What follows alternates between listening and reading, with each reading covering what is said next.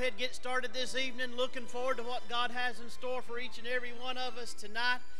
And uh, so excited about what God is doing. Dr- driving over here this afternoon, this evening, I couldn't believe it. Six o'clock, and it was already dark. Um, but uh, I'm telling you, uh, isn't God good to get us here safely? Praise the Lord. So excited about that. Let's all stand, if you will. Those of you already are. Praise God. You're already prepared and ready to go. We're going to sing one of them good old peppy songs because it's dark. My wife already said, It's dark and I'm tired. We actually have a little joke that we say if it's dark on all sides of the house, we can go to bed. Amen. So, uh, well, we can't do that anymore. Praise the Lord. Uh, so excited. Let's go ahead and sing this good song. Page number 120, Victory in Jesus. If you got your uh, books, then you go ahead grab that book. Uh, most of you probably already know that. But, Brother Don, come on around and let's sing this good song, Victory in Jesus. All right. I heard an old, old story how a Savior came from his life on Calvary to save a wretch like me. I heard about his groaning of his precious blood's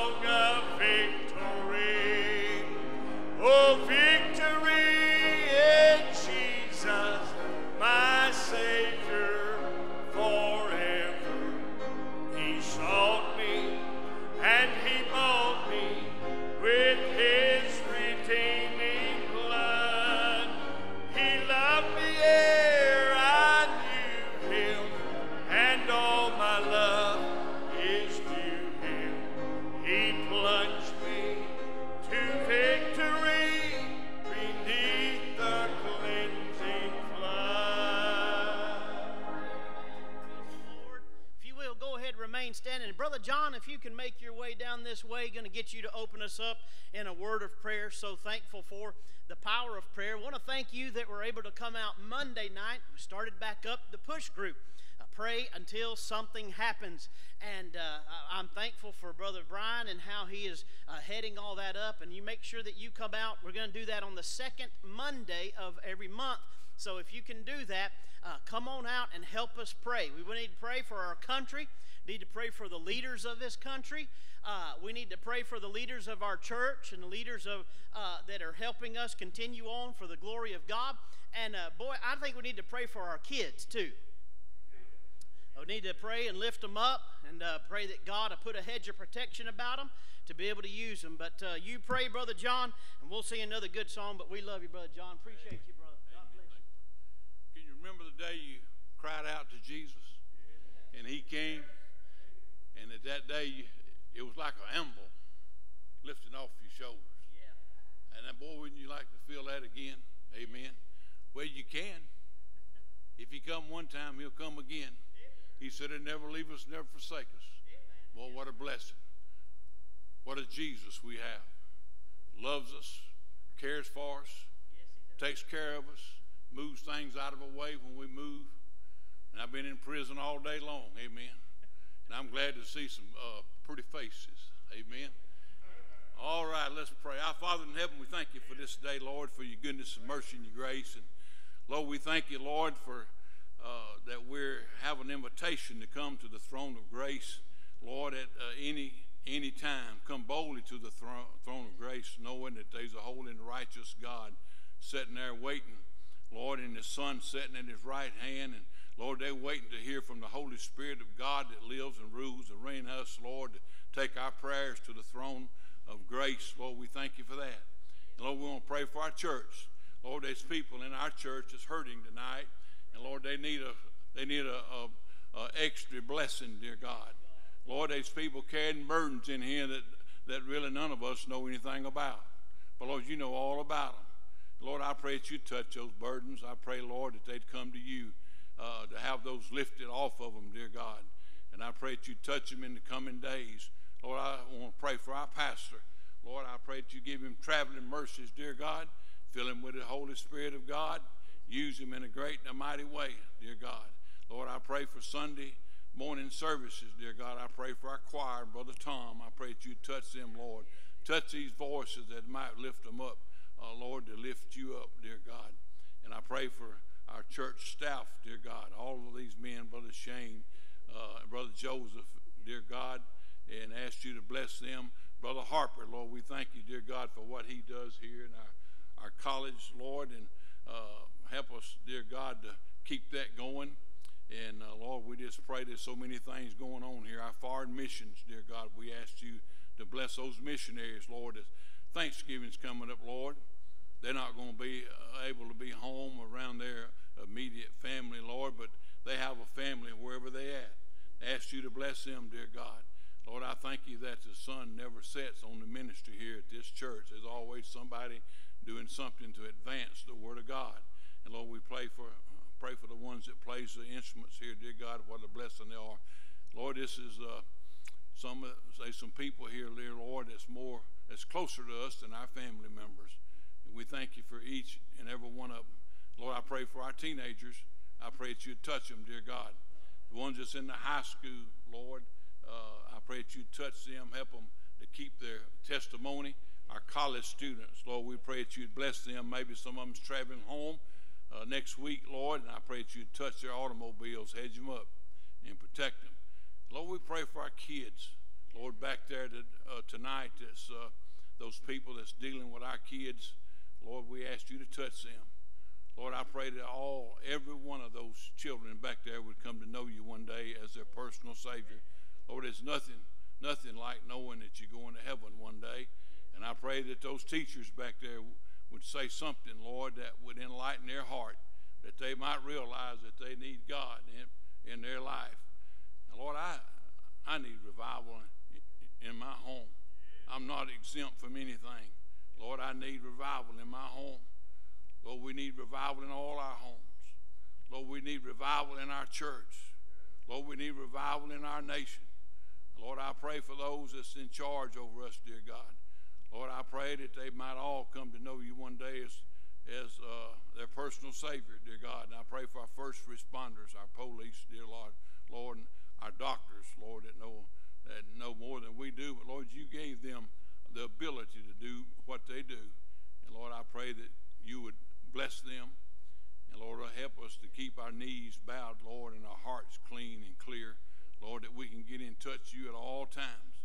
Lord, sometimes we need to get in touch with you in just a moment, in the twinkling of an eye.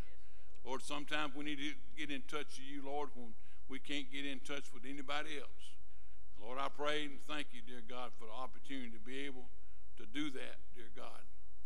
Lord, we love you. Thank you for the day that you saved us, each and every one of us, Lord. Lord, we're going to give you the honor and glory in this day. Pray for Brother Shane as he comes to, uh, to preach to us tonight. Pray, Lord, you give him the exact words that we need to be encouraged. Lord, help us not to be the same when we leave here tonight. Help us to be different. And Lord, the main objective here is to be more like you. Help us to do that, Lord. Help us to love people. Lord, help us to look at other people and see their needs. Get our eyes off of our needs and get our eyes on other people's needs. Lord, we give you the honor and glory in all that you do. In Christ's name, amen and amen You go ahead and be seated. Thank you so much, Brother John. Thank you so much for being here this evening. We're going to sing another good song, page number 359. But before you come, uh, start singing that song, you go ahead and start turning that way. I'm going to make sure you know. To, uh, next week is what? Thanksgiving. Praise the Lord. I saw turkeys uh, in the church earlier today, and it wasn't it wasn't people I was talking about, by the way. I don't and uh, but I saw it, and uh, I tell you, I'm looking forward to that day. I told somebody earlier today I'm already fasting, so I can eat everything I want on Thanksgiving Day. So, uh, but uh, no, I, am not really doing that either. So, uh, but I'm I'm thankful for Thanksgiving. But we do move our midweek service up. So if you would like to come and make be a part of that service next week, we move it to Tuesday. It's going to be Tuesday evening, and as well as our morning service that we have on Wednesday is going to be moved to Tuesday morning as well. So you come out next week at our midweek service, and uh, we're looking forward to having a good time for that. But uh, and also, Brother Bruce had given me a call earlier and wanted to mention this prayer request that his uh, his mother's uh, sister, his her husband, uh, passed away a little bit ago and uh, we just want to be praying for that family. Uh, that, that uh, we can just pray the comfort and peace of God upon them as well. And I'm so thankful that we can go to the Lord and go to the prayer, and we can lean on Him even when there's somebody else. Brother John had mentioned in his prayer that there's times that he can't get in touch with somebody else, but there's never been a time that I've tried to get in touch with God Wasn't able to get in touch with Him because He was there every time. We could lean on him. We'll get Brother Don to come around and sing this song or be able to lead us this song. Page number 359 in your hymnals. Go ahead, pull those out. Let's sing that good song. Amen. One thing about getting older and more mature is you have a lot of memories.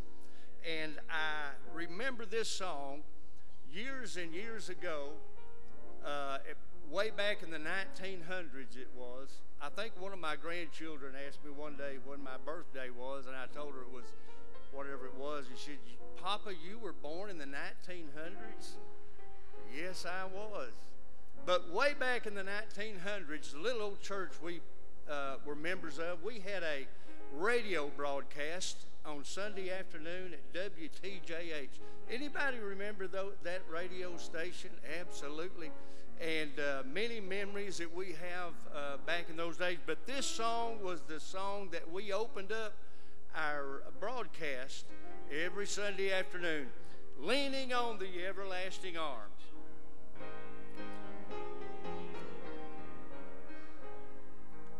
What a fellowship, what a joy divine, leaning on the everlasting arms. What a blessedness, what a peace is mine, leaning on the everlasting arms. Leaning, leaning, I'm safe, secure from all alarm.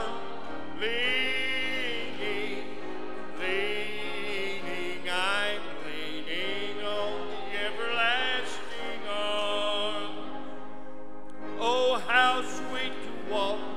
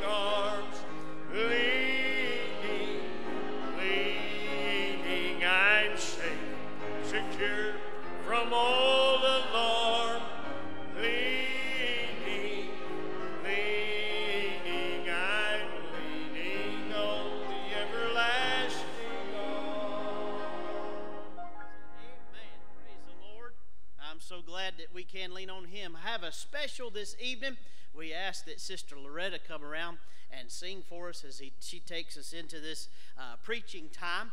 And uh, so thankful for that, that uh, talent that God has given to everybody at our church. And uh, you look around, and it's not like this everywhere. I'll be honest with you. Uh, I've gone to churches, and if you pastors and preachers that have traveled around, uh, you see that it's not like the way that it is around here. And we're so thankful that God has truly blessed us. But you pray for Sister Loretta as she sings for us, and we'll just worship God and uh, get ready to have our Bibles ready and be it preaching. But you pray for Sister Loretta.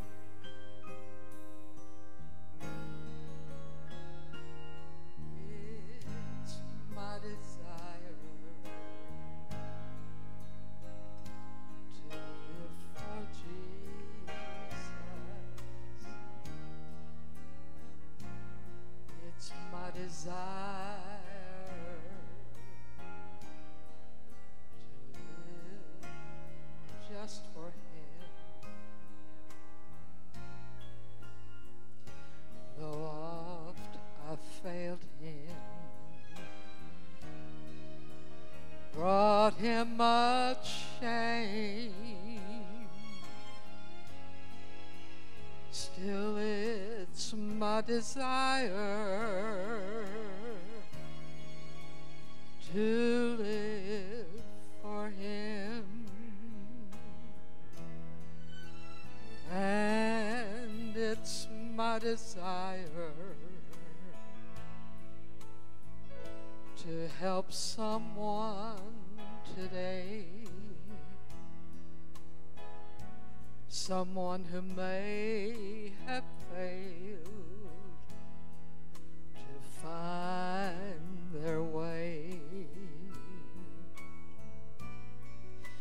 Cause I too was once so lost. But I found my way to God. And now it's my desire to live for Him. If you could see Jesus brought me from just to get me here today, then you would know the reason why I love Him so.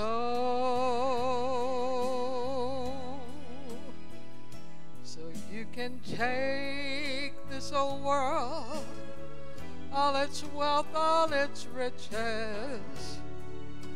I don't need their power, it's my desire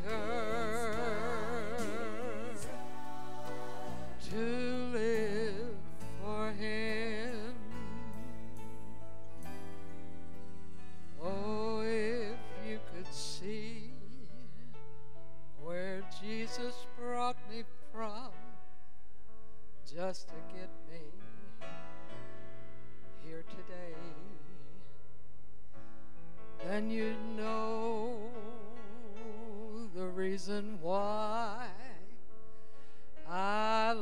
So.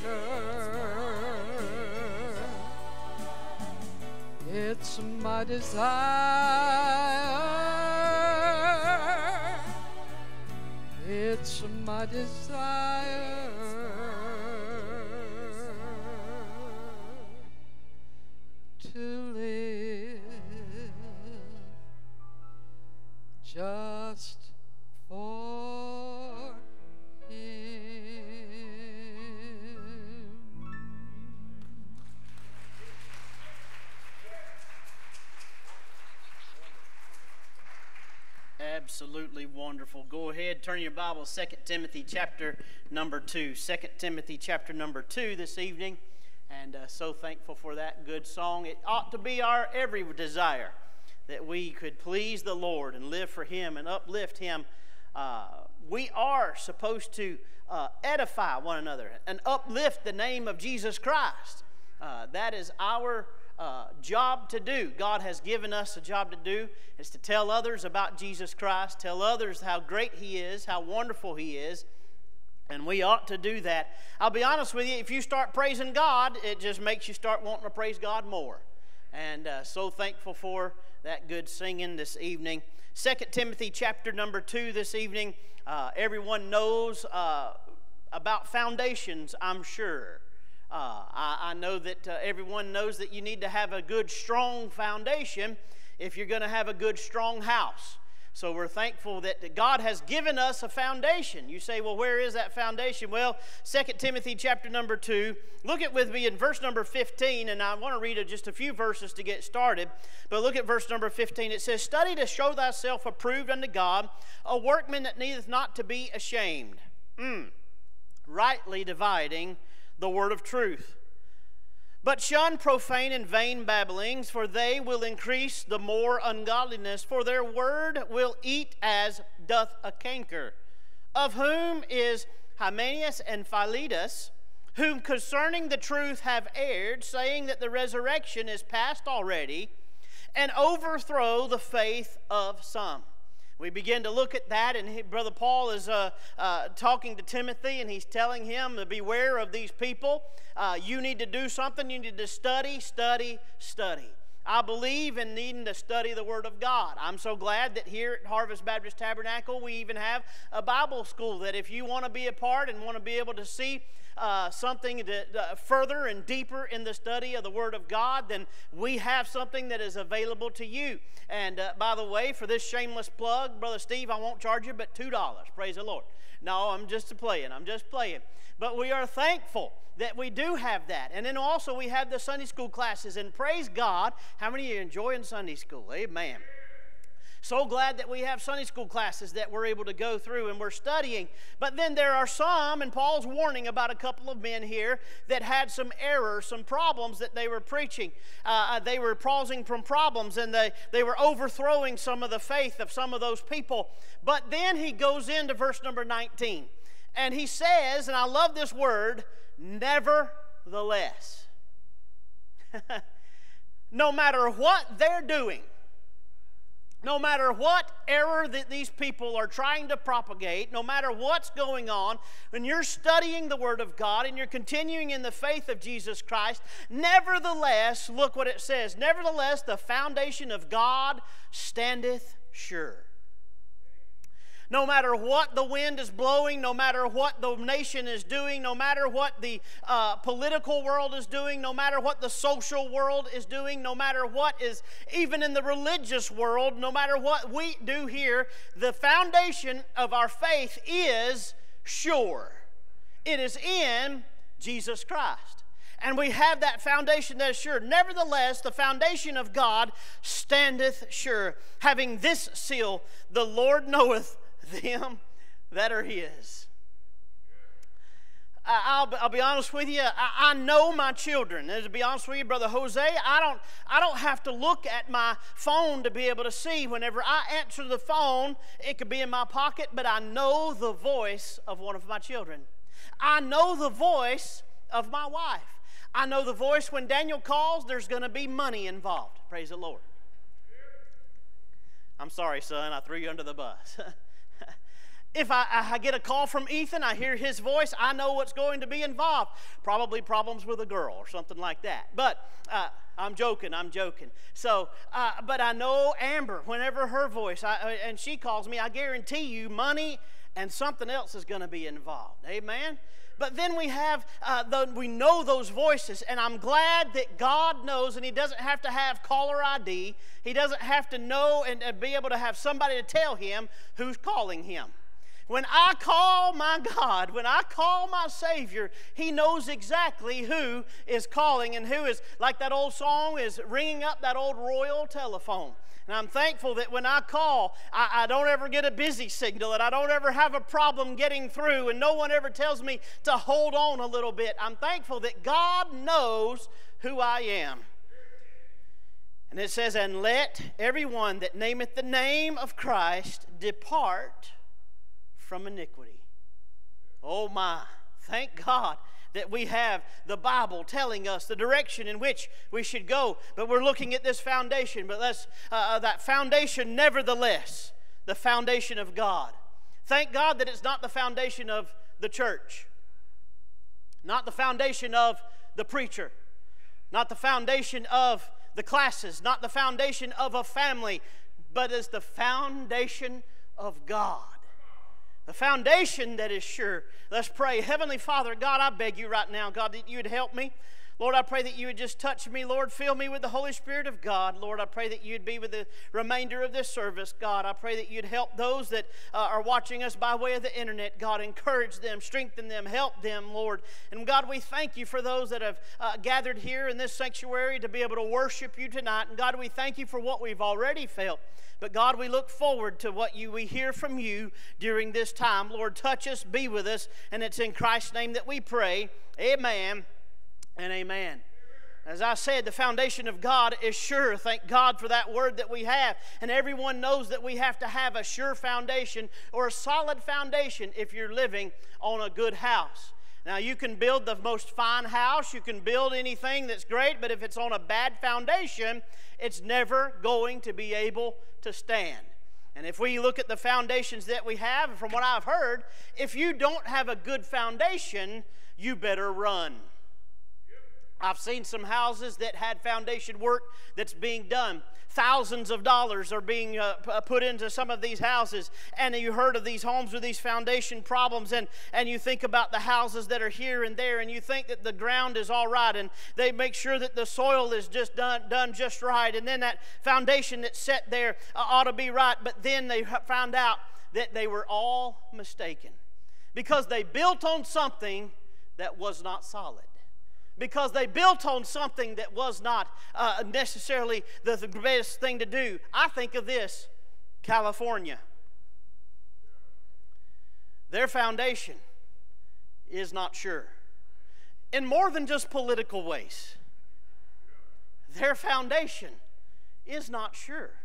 You begin to think of the mudslides and the earthquakes and everything that goes on out there. Uh, but thank God that the foundation that I can have the foundation that I can place my faith in is in the blood of Jesus Christ. And I've attempted, and maybe some of you have done this. Have you ever walked on the beach and spent some time in the sand and your legs get sore because you're in that deep sand and it's so difficult to run around? I'm sorry, I'm not supposed to say beach, we're Baptists. The coast. Have you ever gone to the coast?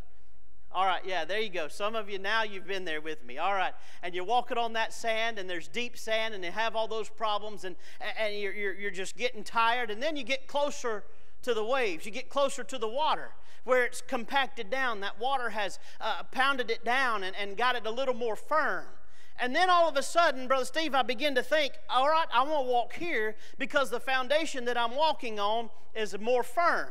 But then I realized, Dr. Steve, that when I'm standing there, I stand on the side and the waves start crashing across, upon me, that all of a sudden I feel the foundation just washing out from under my feet.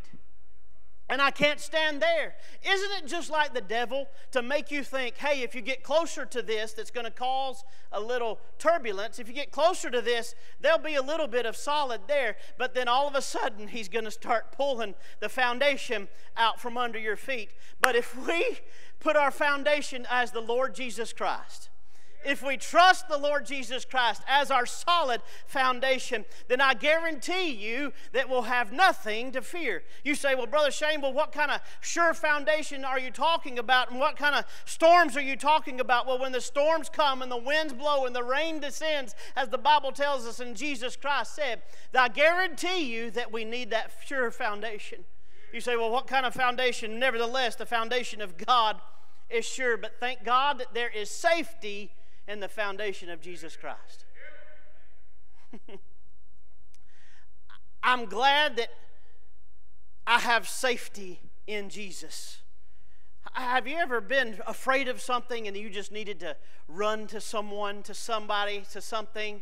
I've done that before in my life, I'll be honest with you. I, and I use my family a lot as illustrations because they're crazy. And, and it's, it's true. we all agree to it. Amen. Uh, and, and, and, and everybody can relate because you know what I think? Everybody else has got a little bit of crazy in them too. So you can relate to that crazy. Well, one morning, one afternoon, or one evening rather, I was in this old house over in, in Douglasville, I believe it was, and it was the creepiest house we'd ever lived in had big old windows and then there was a storm that came uh, and we, we, we started seeing the lightning flashing and the thunder was rolling and the, the rain was going up against and the, the tree limbs were hitting those big old windows and i was scared to death. And, and all of a sudden the lightning flashes and a big old boom and, and then what happens? The power goes out. And when the power went out i did what every young boy would do scream like a girl I jumped up. I screamed like a girl. I started running down the hallway. And as I was running down the hallway, then all of a sudden somebody grabs me and says, I got you. And what do I do then? I scream like a girl. I didn't know that it was my dad that had got me. Boy, I thought somebody seriously had gotten to a hold of me, and I was running for safety, and then all of a sudden I realized Brother John, that I ran and found, and he, I, it's not that I found him. Glory to God. it's not that I, I went running, I just went running in the direction that I thought my dad would be, but he found me. And that is the safety that we have in our Heavenly Father, that we have a safety in that foundation that is Him. And if you look at the houses that are being built, you see that foundation that's being down first, and, and everything that's built on that foundation, and everything has to come up from that foundation. And I'm thankful that I have safety in the one that is my foundation and my solid. Salvation and, and, and safety is from the Lord. As a matter of fact, in Psalm chapter number 4, verse number 8, the Bible says this I will both lay me down in peace and sleep. Let me ask you a question. When's the last time that you've been able to lay down in peace and really get some good sleep? Glory to God. Pray for the rest of us. hey, there are a lot of times that we have the storms and the trials and tribulations of our life that we really think and we just worry. But the psalmist is telling us in chapter number four that I'm going to lay me down and sleep in peace. For thou, Lord, only makest me to dwell where? In safety. He is the one that is taking care of us. And there's, there's, the, there's the tornadoes that come by and, and, and lift up those houses and, and take those houses away. But, but I, am going to try to do something if I, an anchor, a, a, a tornado is coming towards my house. I want to anchor to something that's going to be solid. And when the storms of our life come around, and when the storms of our life go through our life, then we need to make sure that we are anchored to the solid foundation, the safety of Jesus Christ, our solid foundation, the safety of the rock. Look with me in Matthew, if you can. Go ahead, turn in your Bibles and look at this with me. Matthew chapter number 7. It says this in verse number 24 Therefore, whoso, whosoever heareth these things, these sayings of mine, and doeth them, I will liken him unto a wise man which built his house upon a rock. And the rain descended, and the floods came, and the winds blew and beat upon that house. You realize that just because they had built on the foundation didn't deter the storm from coming still. Just because the foundation was the right thing and just because they had built on the right uh, material wasn't that it was going to stop everything from happening. But there, look at it, it says, and it fell not. Why? For it was founded upon a rock.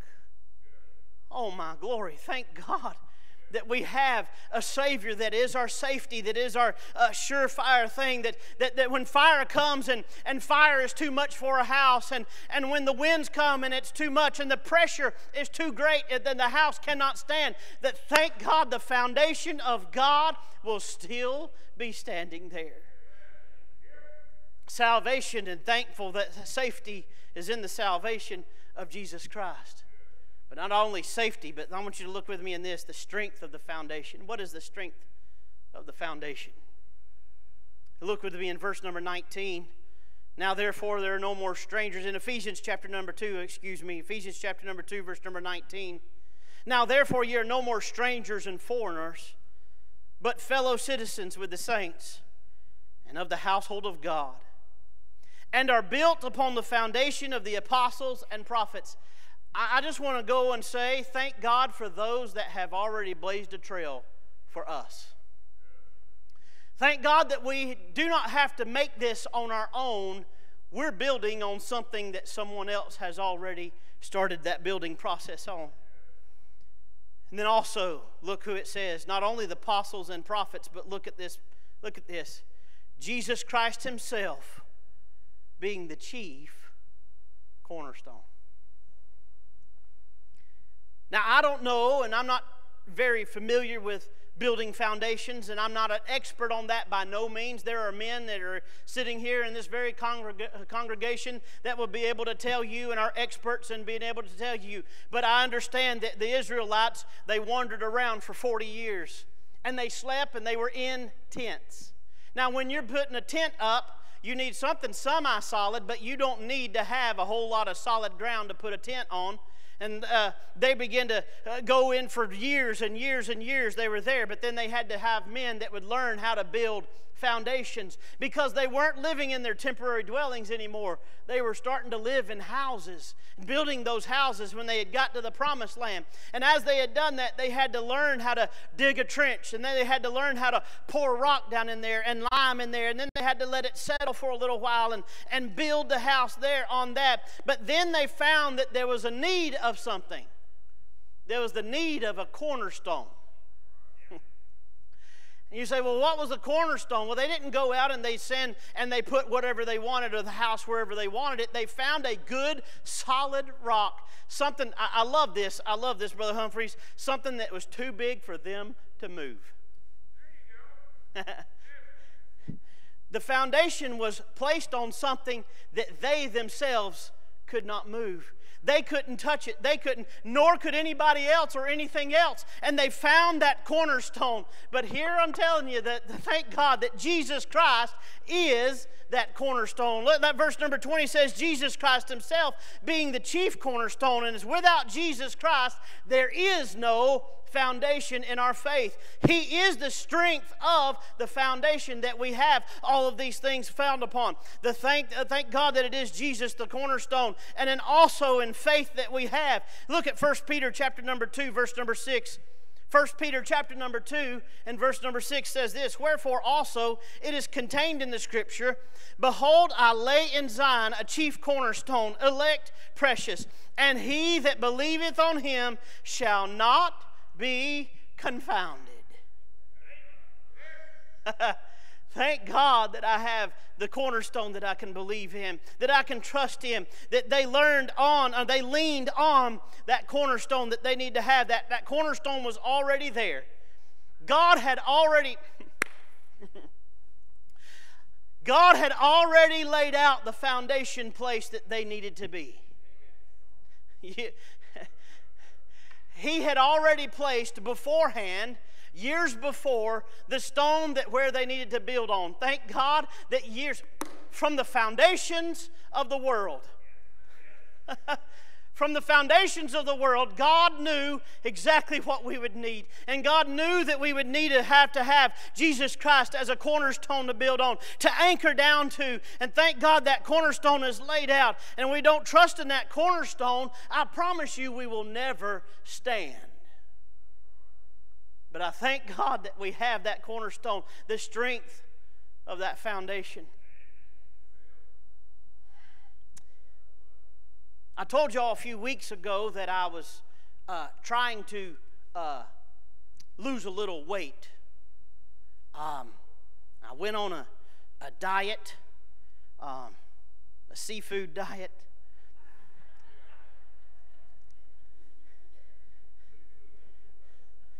Just don't put it in front of me and I won't eat it.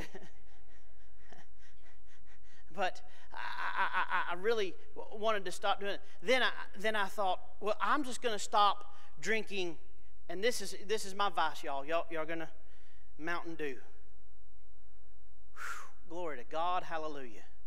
Some of y'all drink coffee. I drink Mountain Dew. I, I, it gets in my bones. Glory to God. I can feel it. I'm just talking about it.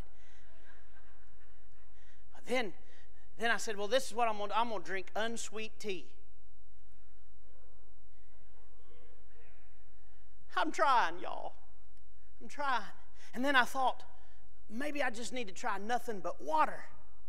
And I started doing that. And you know what I, you know what I found out? That's good stuff. That water, it, it, good. Uh, I, now, don't give me lukewarm water now. But you give me that good cold water, then all of a sudden I start looking for that. And you know what I begin to do? You know what I'm beginning to do? I'm going past the Mountain Dew and I'm looking for the water. Because then I, I thought to myself one day, I'm going to go ahead and drink me a Mountain Dew. And when I put a, took a sip of that, it was too much.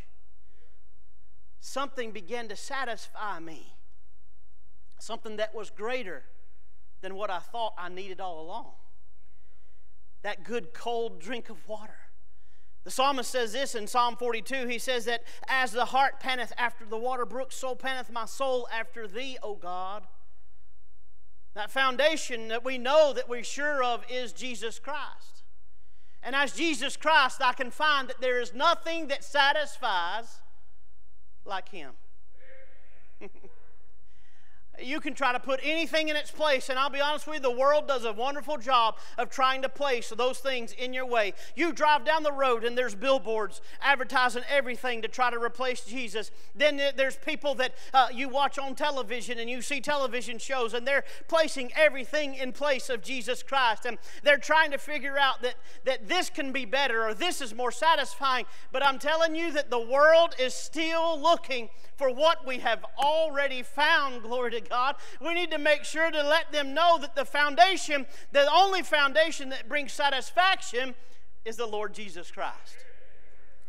There's none other that will ever do that for you. There's none other that will ever lift you up and help you in that way. That short satisfaction is always going to leave. Now, I guarantee you that you try to do this, and, and that satisfaction will be for a little bit, but then it'll be gone, and you'll be looking for the next fix. You'll be looking for the next thing. But Lord, thank God, in John chapter number four, there was a little lady that was sitting by the well, and he said to her that I am a river of life, and if you drink of this well, it will be a springing well up inside of you. And I'm thankful that when I was a six year old little boy, that I didn't have to worry about trying to bring the foundation of myself. But thank God I brought Jesus Christ to, uh, to myself. And I'm thankful that uh, He has helped me and He's made that well up inside of me. And He is the only thing that satisfies completely.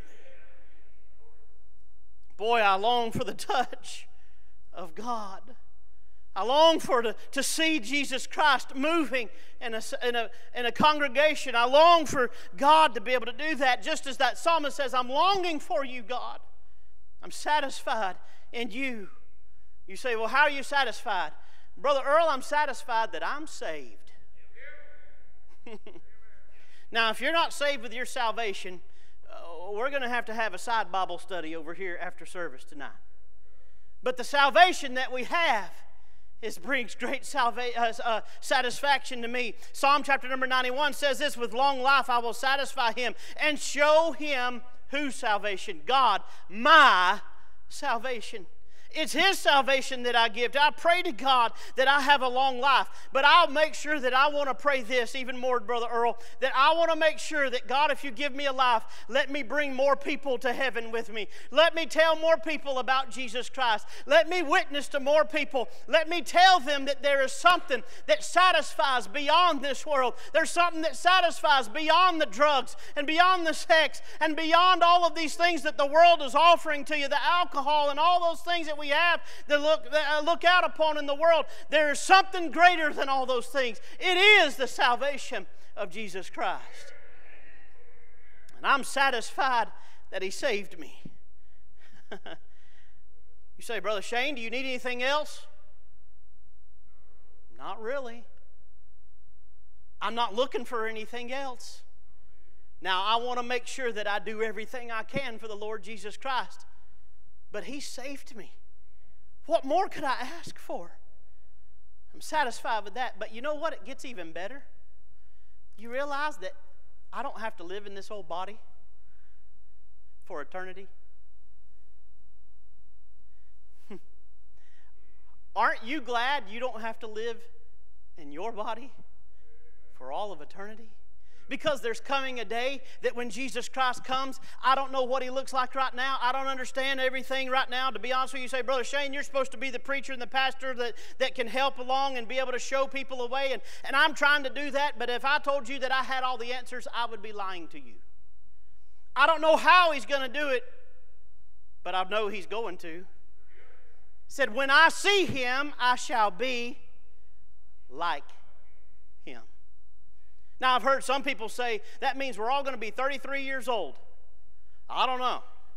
To be honest with you, age 33 wasn't a very good year for me, so I'll be honest with you. Uh, you, know, I, I, you could be that, that age. Uh, some people say that we'll be uh, however old, whatever you're going to be. All I know is I'm going to be like Jesus. And that is satisfaction enough to know that Jesus Christ is going to give me exactly what He has. And one day that I'm going to get, I'm going to close my eyes in death. One day I'm going to close my eyes and on this side, but on the other side, glory to God, I'll get to see Him, and then I will be just like Him. When I see Him, to be like Him, we shall be and see like Jesus Christ, and we get to reign with Him forevermore. What a wonderful thought to think that my satisfaction is in this sure foundation. The Lord is my foundation, and He is sure. I love the very end of this. The Lord knoweth them that are His.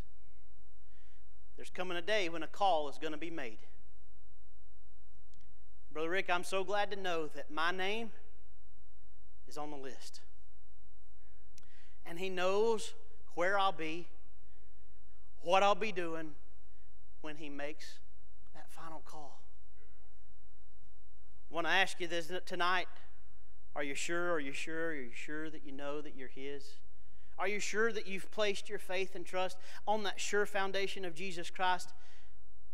There may be a lot of things going on in our life but just know that the foundation of God is very sure. Very sure that He has done all things well. Let's pray. Heavenly Father, Lord, I thank you for this night. God, I thank you for the foundation that you've given to us, the foundation of our faith in Jesus Christ. Lord, I beg you, God, that you would continue to have your will and your way.